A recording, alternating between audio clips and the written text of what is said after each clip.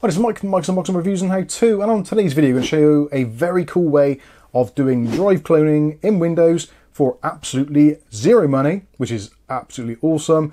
This is one of those programs which has been around for a long time, but people often forget about it, and actually I did myself, and it wasn't until recently I was looking through my toolkit and seeing what I had, and this is the one that came up top. So if you are looking to maybe clone a drive, if you're maybe getting a new NVMe, replacing a smaller version, and you want to do that, this works fine. If you're actually getting a larger drive and you want to put in a smaller drive, as long as the data is smaller, you can do this as well. This is a great piece of software, so let's head straight into it.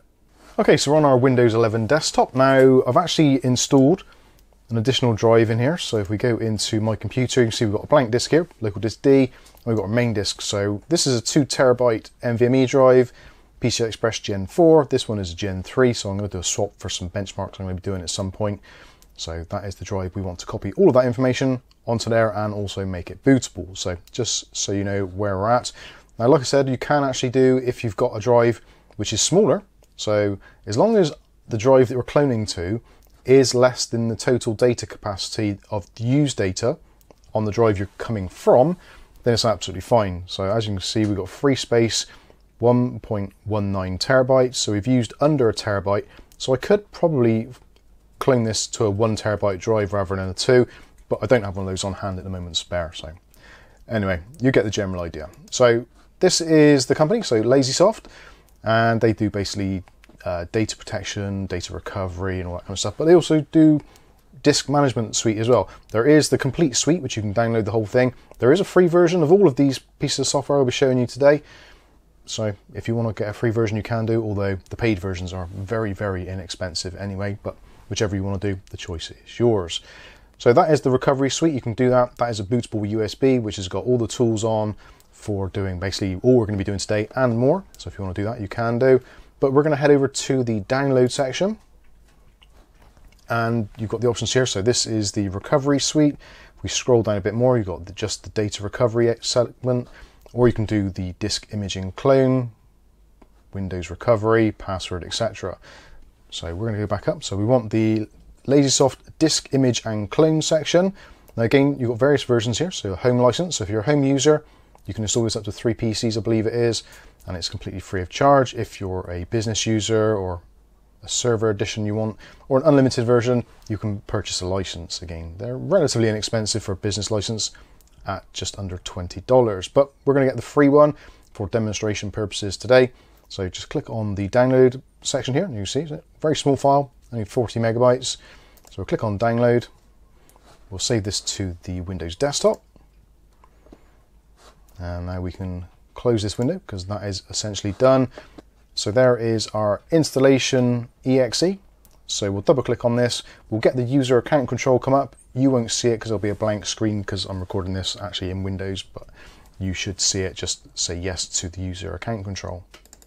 So then we go into the language setup. So there's various options there. We'll choose English, click OK, and you can read through the agreement should you wish to. Click on Next and choose a location to install. I'm going to stick with the defaults for this particular demonstration. And we'll just go Next, Next, and Install. And again, pretty small program there, so it shouldn't take very long at all. At the end, you get the option to launch the application, which is exactly what we want to do. So I'm going to click on Finish and it will bring up the application. So it's very simple, very straightforward. There's not a great deal going on here. You've got options at the top here for drive imaging, drive cloning, disk tools, wizards, help, boot disk tools, etc. You can create a boot disk should you wish to. Uh, so you can actually clone drives in a Windows PE environment. But actually for today, what we want to do, we just want to do a drive clone. So you can either click on drive clone here at the top, or you can choose one of the options down the side there. You can clone partitions or the entire disk. So drive clone, again, just replicating what is down here. So let's do clone disk. So this is the important bit, finding out the actual source disk. So our source disk is our main Windows drive, which is in use currently. So that's absolutely fine. So we'll just click on the top here for our disk number one. And you can choose to do sector by sector copy, should you wish to. That is going to take significantly longer and generally you want a drive of exactly the same size. Also, you can choose specific partitions if you just want maybe one or two partitions depending on your drive usage. But I think for most people cloning, you just basically want to do the whole thing. So I'm going to click on next. And now it's going to ask us for our destination disk. So our destination disk is going to be our new drive here. That one there. So you can see it's empty already. It has got some partitioning on it already because it's formatted in Windows. If your drive isn't formatted, it'll do all that for you. So don't have to worry too much about that. Obviously, when you're doing this, make sure you get your source and destination disks right. Otherwise, you will erase data. So click on next and it's going to ask you what you want to do. So this is the very cool part. So you can choose now. So copy without resizing partitions. So it's just going to do a complete copy and leave the partitions as they are.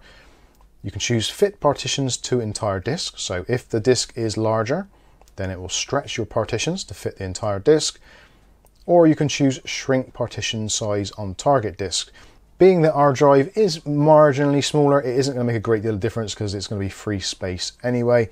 So we're just going to go along with that. If you do want to make it as small as possible, you can choose a shrink partition there. It'll take you down to like 675 gigabytes for the actual drive we're copying. So choose whichever one makes more sense to you. Again, you can fill, fit, or just copy. So I'm just going to copy without resizing partitions. When you're happy, you can click on next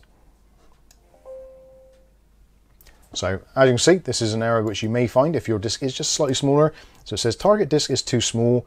Please select fit partitions to entire disk. So it is going to help you with this. If you do something wrong, it's going to guide you through. So fit partitions to entire disk. As you can see, that did move very slightly. So if we change that, you can see there's a very, very minor change there. But it's very clever, very intelligent, and it's going to help you out. And there's uh, not a lot of guesswork going on here. So click on next. It's going to ask again, ready to clone, please confirm, because they want to be sure. So we're going to go from the source disk number one, we're going to go to destination disk number two, and basically when we're happy, click on start. So I'm going to click on start now.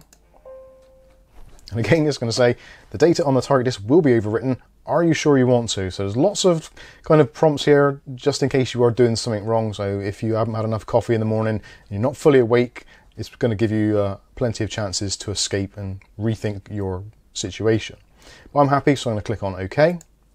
And now it's going to go through. It's going to lock the destination volume, which is very important. And obviously, whilst you're doing this, it's a really good idea not to be doing anything in the background. Don't be uh, running CSGO or something in the background. Just leave the computer. And ideally, if you can, close as many programs as possible before you start, uh, preferably. But obviously just don't try and do anything. Don't start opening windows and trying to send emails and stuff. Just leave the computer alone to do its thing. Uh, it'll be much happier if you do that. So it's going to give you a rough idea of how long it's going to take. At the moment, it's currently calculating. Again, we've got somewhere region of about 600 gigabytes here, I think it was, around that sort of thing. So it is going to take a little while, even though these are M.2 drives. It will be basically restricted by the speed of your computer. So you have the options here as well. So you can, if you want to, if it's going to go on for like hours and hours, which potentially it might do, you can choose to shut down the computer when the operation is completed. So if you just want to have it automated and for the PC to close itself down so you can go on up to bed and let the PC carry on overnight, then you can choose to do that if you want to. But again, otherwise just uh, leave it, carry on. You can't click on finish or back until this is completed. So the only options you have here are going to be cancel or help which cancel obviously you don't really want to do. It says here it's going to take about 40 minutes. So again, I'm going to leave this to carry on and we'll come back when it's finished. Okay, so we come to the end now. Actually, I was watching it, it went to about 97% or 96% and then suddenly jumped to 100 and it came up with this information saying the disk cloning operation was completed successfully. Just what we wanted to see. Please shut down the computer. Be sure to disconnect either the original hard drive or the target drive when you perform the first boot after creating a clone. If both the original and the target disks are connected to the computer at boot time, using either drive, Windows might attempt to boot from both drives and crash. Do you want to shut down now? So no, not quite yet. So I'm going to click on no, because we don't want to close down. So that is effectively it. We're done and dusted. So this is actually a really nice little program. Our total elapsed time for the clone is about 37 minutes. So yeah, not too bad at all. Enough time to go off and get some lunch or something and come back and the job is done. Now for a lot of people, you're probably going to have a smaller disk anyway, so potentially it's going to take considerably less because it's only going to copy the sectors which are actually used rather than doing a sector by sector copy. So yeah, overall pretty good. So we can click on finish now. As I said, there's lots of other things you can do actually within the software as well. So it's not limited to just drive cloning. You can actually create drive images. So you can convert a drive to an image. You can image to a drive. You can verify images and yeah, all that kind of stuff. So if you want to make backup images, you can do as well. So it's quite handy for that as well. So there we go, we're all done. Drive is cloned and I can get on and do some testing later on after this video. But I think this is a really good piece of software. It's very handy, very easy to use, and best of all, it's absolutely free and absolutely zero nagware, which is always a bonus these days in the market of free software. Generally, there is something which is not entirely free, i.e., they're trying to desperately get you to pay for the paid version but with this, they don't seem to be. So let me know, have you used this yourself before, previously? If you have, let us know your experiences. Or potentially, if you're going to be downloading this and using it, then do drop back to this video and let me know how you got on. I'd be very interested to hear. And do you find this better or faster or even slower than other things on the market, such as Macrium, which was the market leader for an extremely long time? I'd be very interested to hear your thoughts.